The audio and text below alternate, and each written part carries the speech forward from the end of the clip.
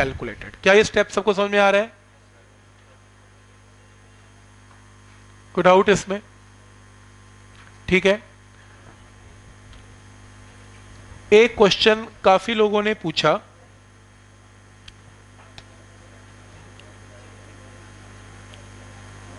ये शीट कौन सी चल रही थी? 90 96 थी। अच्छा 96 एंड 97 ही कर लो इसे अब। डैश 97 वो एक्चुअली क्या हुआ कि यार उसमें ना दो शीटें बनी। एक 96 थी, एक 97 थी। तो 97 में ट्रांसफॉर्मर वाले भी शीट ऐड की। आप लोग, जिनको मिली है यही मिली होगी 97 जाते हुए ले लेना, कोई बात नहीं है शीट 97 नंबर शीट है ये। 97 नंबर शीट में ट्रांसफॉर्मर अलग है, पर मैंने स्टेपल करके वो इकट्ठी एक दे दी थी। एक ना प्रॉब्लम है ट्रांसफॉर्मर की, जो काफ़ी लोगों ने ना, जो मैंने ट्रांसफॉर्मर के क्वेश्चन दिए थे करने के लिए, उसकी लास्ट प्रॉब्लम थी एस एल की। काफ़ी लोगों ने डाउट पूछे, जिन्होंने एक्चुअल में की थी ऑब्वियसली उनसे होने वाली नहीं थी। पता भी लग रहा था कि ये लोग पढ़ के आए हैं। अब उन्होंने नहीं पूछी, ठीक है, वो कहते हैं, पहुँचे नहीं वहाँ तक। तो ये वो प्रॉब्लम थी।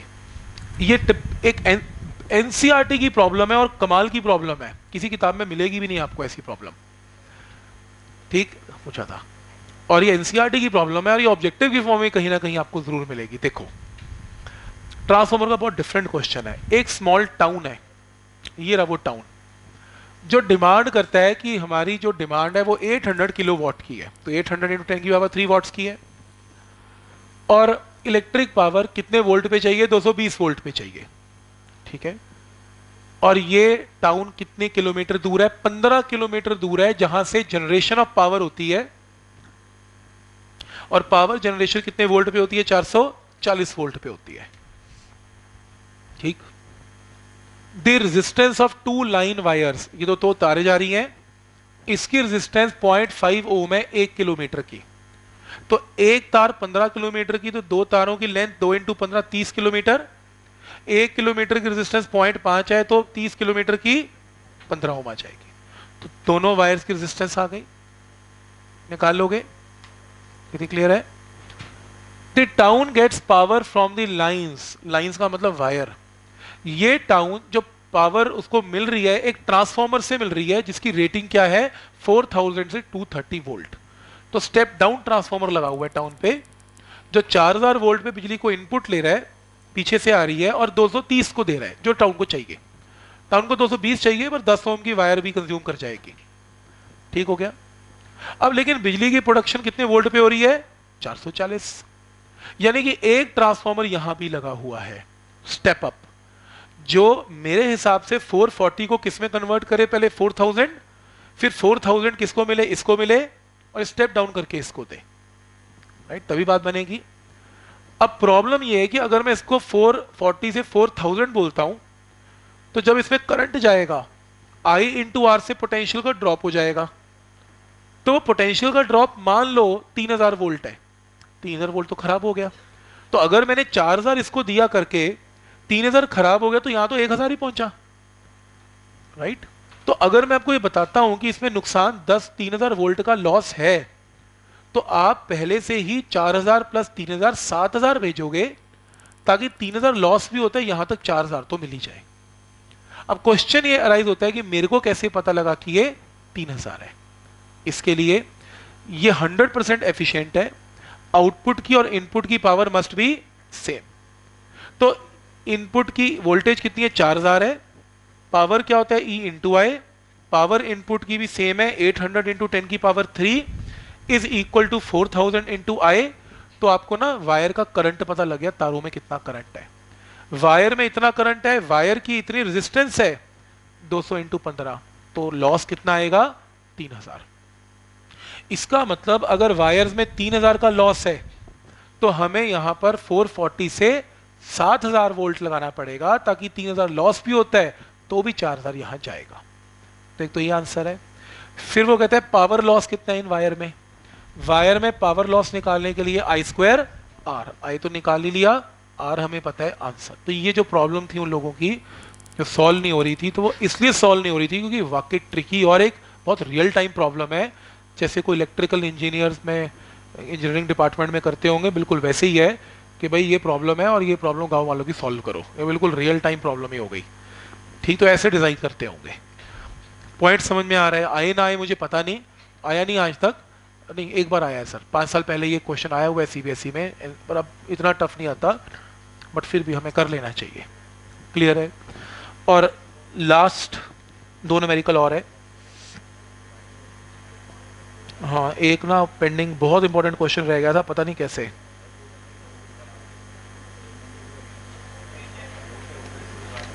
ये रहा।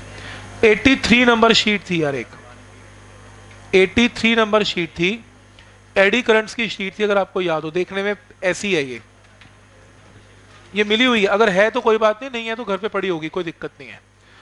इस शीट के ना तीन प्रॉब्लम्स रह गई थी। यहाँ तक तो डिस्कशन हो गई थी हमारी।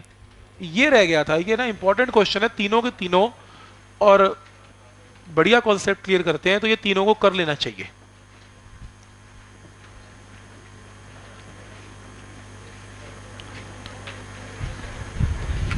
देखो।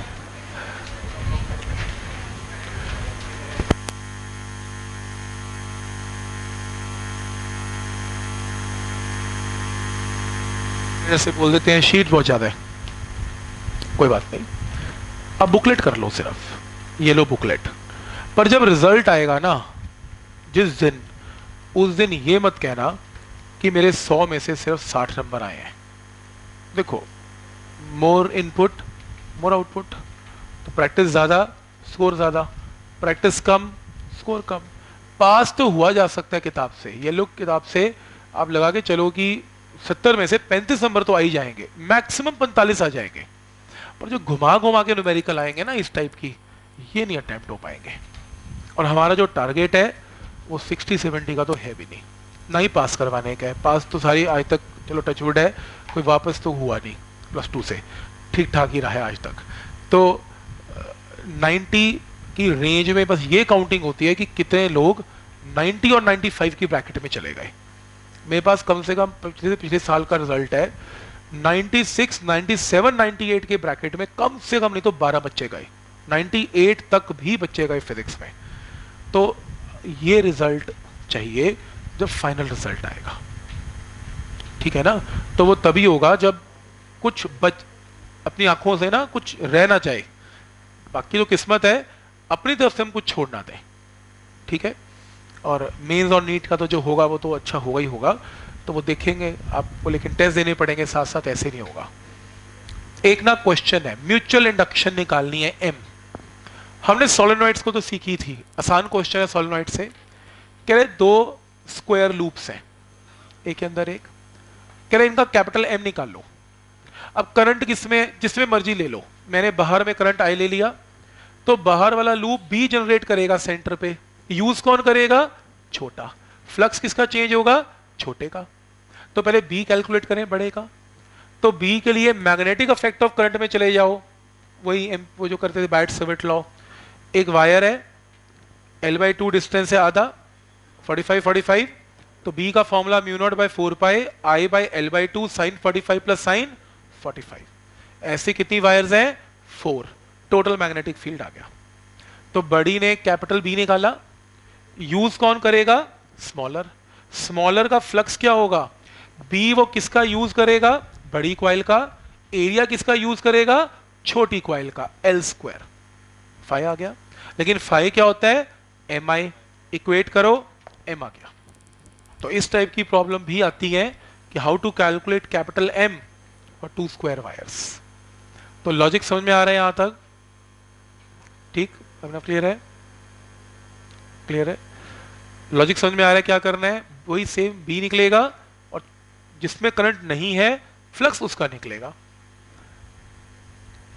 एक ये क्वेश्चन बहुत आप देखोगे, अपने स्कूल वाले भी डाल देते हैं और एनसीईआरटी में भी. वो कहेगा, एक ना स्क्वायर लूप है. एक स्क्वायर लूप राइट की तरफ़ जा रहा है. With velocity of V naught इस स्क्वायर की लेंथ 10 सेंटीमीटर है पॉइंट वन मीटर है ये। इसकी स्क्वायर की रेजिस्टेंस वन ओम है, इसकी कोई रेजिस्टेंस नहीं है। ये एक बैलेंस्ड व्हीट ब्रिज है। वो कह रहा है, इसमें मुझे बी पता है, मुझे वेलोसिटी बतानी है, कितनी है। जब करंट इसमें कितना जनरेट हो गया? वन मिली एम्पियर करंट क्यों जनरेट हो रहा है? बिकॉज़ यहाँ मोशनल ईएमएफ लग रही है। एक रॉड को जब खींचेंगे मैग्नेटिक फ़ील्ड में तो मोशनल ईएमएफ लगती है बीएलवी हमने किया था। ये एक बैलेंस वी स्टोन भेजा है this can be neglected series series आपस में पैरेलल सॉल्व कर लेना रेजिस्टेंस तीन आ जाएगी। इसकी रेजिस्टेंस अगर नेट तीन है, इसकी एक है तो टोटल रेजिस्टेंस पूरे सर्किट की चार ओम आ जाएगी। क्योंकि जो करंट वायर में जनरेट होगा, वो जाएगा तो चार ओम में तो इसमें ईएमएफ क्या जनरेट होती है वायर रॉड में? बीएलवी तो करंट क्या होगा? बीएलवी बाई आर निकालनी क्या है? वेलोसिटी आई पता है आर पता है एल पता है और बी पता है वेलोसिटी कैन बी कैलकुलेटेड तो पॉइंट समझ में आ रहा है कि कैसे करना है? Total resistance total EMF total current question same है. आसान है. और आज का लास्ट क्वेश्चन या लास्ट कहानी या लास्ट ऐसे या लास्ट केस स्टडी बड़ा है बहुत बड़ा है ये एक एनसीईआरटी की प्रॉब्लम है और बिलीव मी मेंस और नीट के कई क्वेश्चंस को टक्कर देती है ये। और ऐसे ही क्वेश्चंस आते हैं। और कमाल की बात है, चार साल पहले बोर्ड के अंदर एग्जैक्टली सेम क्वेश्चन पाँच नंबर में डालने वाले ने डाल दिया था। सेम देख लेना खोल के पुराने पेपर तो लेकिन ये रिवीजन सारी करवा देगी। देखो कैसे। सबसे पहले इसके अंदर ये गिवन है, ये रेल है। कोई भी रेल्स है। ये एक रॉड है मूवेबल रॉड है वी वेलोसिटी से मूव करती है मैग्नेटिक फ़ील्ड प्रेजेंट है मैग्नेटिक फ़ील्ड सारे हिस्से में प्रेजेंट नहीं है। कहाँ से स्टार्ट होती है rod x is equal to zero से। मैग्नेटिक फ़ील्ड प्रेजेंट है till x is equal to B तक, पर रॉड को जाना कहाँ तक है? X is equal to two B तक। तो मैग्नेटिक फ़ील्ड सिर्फ़ और सिर्फ़ रेड पोर्शन के लेफ़्ट तक ही है, बाकी नहीं है। ठीक है यहाँ तक? तो देखो arm P Q is move towards right magnetic field zero से बी तक है, और ग्रेटर देन बी पे कैपिटल बी क्या हो जाता है? ज़ीरो रेजिस्टेंस पी क्यू की स्मॉल आर है। P Q is pulled from zero to two B zero से to B pulled and moved back to X is equal to zero यहाँ से यहाँ और फिर वापस। तो रॉड को इधर से इधर लेके गए और वापस ले आए। विद कांस्टेंट स्पीड वी देखो, निकालने को देखो क्या कह रहा है। कहते हैं फ्लक्स भी निकाल के दो इंड्यूस्ड ईएमएफ निकाल के दो फोर्स निकाल के दो पावर निकाल के दो, और फिर सबके ग्राफ भी प्लॉट करके दो टाइम के साथ। मतलब पूरा ई रिवाइज कर दो इसके साथ ही। रह क्या गया? यही तो निकाला था सारा कुछ। तो अब क्योंकि हम तो ईएमआई करके आए हैं तो हमें रिज़ल्ट याद होने चाहिए। तो हम सीधा एप्लीकेशन ऑफ़ रिज़ल्ट ही लगाएँगे। वो क्या? सबसे पहले फ्लक्स निकलेगा। ध्यान से देखना है, निशांत, बस दो चार मिनट की और पेशेंस चाहिए। ठीक? तो पहले फ्लक्स देखना है। फ्लक्स सबसे इंपॉर्टेंट है, बाकी सब आसान है। फ्लक्स में गलती होने का चांस है, ध्यान से देख लो। फ्लक्स का फॉर्मूला क्या लगेगा? बी इंटू एरिया फ्लक्स निकलेगा ज़ीरो से बी के बीच में और फिर बी और टू बी के बीच तो ज़ीरो और टू बी के बीच में मान लो किसी भी इंस्टेंट पे रॉड की डिस्प्लेसमेंट कितनी है? एक्स तो उसने एरिया कितना कवर कर दिया? एल इंटू एक्स तो बोलो फ्लक्स का formula B into L into X clear है? ठीक, एक आंसर आ गया. अब बी और टू बी के बीच में फ्लक्स निकालो. ज़्यादातर लोग ज़्यादातर लोग इसका आंसर ज़ीरो बोलेंगे. वो कहेंगे, आप बी एग्जिस्ट नहीं करता. कि होगा फ्लक्स बी और टू बी के बीच में तो बी है ही नहीं कैपिटल बी तो कहते हैं फ्लक्स ज़ीरो होगा। ज़्यादातर लोग बता रहा हूँ ये गलती करते हैं। नहीं होगा नॉन ज़ीरो होगा। कंसिडर करना। क्यों? क्योंकि बी पे है। बी की लाइन इंक्लूडेड है इसमें। इंक्लूडेड है। तो बी तक फ्लक्स कवर हो चुका है कितना? एल इंटू बी ज़ीरो नहीं होगा। एल इंटू बी होगा। तो ये इंपॉर्टेंट है। फ्लक्स यहाँ पर एल इंटू बी होगा। तो जो लोग ऐसे सोचते हैं कि कांस्टेंट होगा या ज़ीरो होगा हाँ वो ये बोल सकते हैं कि अब जब रॉड आगे गई तो फ्लक्स चेंज होना बंद हो गया। उसका चेंज बंद हो गया, लेकिन बी पॉइंट पर फ्लक्स फिर भी था। ये इंपॉर्टेंट है। क्लियर है? तो फ्लक्स का जब ग्राफ प्लॉट किया तो यहाँ पर फ्लक्स कितना था? यहाँ से यहाँ तो था। फिर फ्लक्स की वैल्यू यहाँ पर कांस्टेंट हो गई चेंज बंद हो गया। यहाँ से यहाँ पे। फिर वापस रॉड आई फिर कांस्टेंट हो गया और फिर डिक्रीज होके ज़ीरो हो गया। तो ग्राफ देखो। ज़ीरो से बी तक फ्लक्स इंक्रीज हुआ एक्स के साथ। फिर कांस्टेंट हुआ, फिर कांस्टेंट हुआ, ये आउटवर्ड जर्नी है, ये इनवर्ड जर्नी है, और फिर ज़ीरो होके ज़ीरो हो गया। तो ग्राफ समझ में आया कैसे रीड करना है इसे? तो चार हिस्से हैं जर्नी के। एक, दो, तीन, चार। Flux increase constant constant decrease पहला आंसर आ गया। फिर वो कहते हैं इंड्यूस्ड ईएमएफ निकाल दो. इंड्यूस्ड ईएमएफ का formula minus D phi by D T जब मैं इस फाइव को नीचे पुट करूँगा फ़र्स्ट रीजन में तो ईएमएफ क्या आएगी? माइनस बीएलवी ठीक है? लेकिन जब मैं इसको डिफ्रेंशिएट करूँगा दिस इज़ कांस्टेंट तो ईएमएफ क्या आएगी? ज़ीरो ईएमएफ ज़ीरो देखो ना कांस्टेंट है, इसके बाद तो फ्लक्स चेंज होना बंद हो गया। तो यहाँ पर, यहाँ से यहाँ तक minus B L V zero zero और फिर plus B L V direction change हो चुकी है तो ईएमएफ का क्वाड्रेंट चेंज होगा। Minus B L V zero zero plus B L V बढ़िया क्वेश्चन है। फिर उसने कहा करंट निकालो। कोई बात नहीं करंट इज़ इक्वल टू पहले रीजन में ईएमएफ कितनी है? माइनस बी एल वी और दूसरे रीजन में ईएमएफ क्या है? ज़ीरो तो दूसरे रीजन में करंट तो ज़ीरो लेकिन पहले रीजन में B L V by R तो यानी कि इस रीजन में B L V by R zero zero minus B L V by R quadrant change करेगा। या उल्टा बोल लो कि करंट पहले नीचे बनेगा minus B L V by R फिर ज़ीरो फिर ज़ीरो और फिर प्लस बी एल वी मतलब ई एम एफ़ का ही ग्राफ बनेगा। जो ई एम एफ़ का जो रूल लगाया वही करंट में सेम ग्राफ बनेगा, उसमें कोई चेंज नहीं। फिर कहते हैं फोर्स निकालो। भाई फोर्स तो तब होगी जब करंट होगा। तो फोर्स का फॉर्मूला हमने क्लास में वो जो मैंने शीट दी थी, उसमें लिखा हुआ था, ये फोर्स का फॉर्मूला है लेकिन किस रीजन में? यहाँ तो फोर्स लगेगी, नहीं लगेगी नहीं लगेगी, फिर लगेगी। और फोर्स भी अपनी डायरेक्शन चेंज करेगी। एक बार इधर खींच रहे हो तो एक बार इधर खींच रहे हो। तो देखो, फोर्स का ग्राफ भी क्वाड्रेंट चेंज कर रहा है। पहले फोर्स लग रही है, ये रही, फिर दो पोर्शन में नहीं लगेगी, फिर लगेगी। और फिर पावर अब पावर भी वहाँ होगी जहाँ फोर्स होगी। तो पावर क्या है? आई स्क्वायर आर तो ये पावर का फॉर्मूला है। और सेकेंड रीजन में तो होगी नहीं बिकॉज़ फोर्स ही नहीं होगी। इंपॉर्टेंट ये है पावर के ग्राफ में, सबसे इंपॉर्टेंट पावर नेगेटिव नहीं होती। क्योंकि पावर में फॉर्मूला आई स्क्वायर आर लगता है, सारे स्क्वायर चल रहे हैं नेगेटिव हो ही नहीं सकता। Constant zero zero quadrant positive ही होगा। पावर का ग्राफ नेगेटिव में नहीं बनेगा पावर पॉजिटिव बनेगी। बहुत बढ़िया क्वेश्चन है मेरे हिसाब से ये ईएमआई का। और बनता है पूछना पाँच क्वेश्चन तो कहीं नहीं गए, पाँच क्वेश्चन से ज़्यादा टक्कर देता है, दस क्वेश्चनों को टक्कर देता है किसी भी मेंस और ईएमआई को, दस न्यूमेरिकल बनेंगे और दस ग्राफ भी पूछ सकता है ऐसे। ठीक? तो इसी के साथ हमारा EMI AC NCERT level close अगला लेक्चर ईएम वेव्स फिर उसके बाद objective sheets of all these chapters फिर उल्टा स्टार्ट होगा।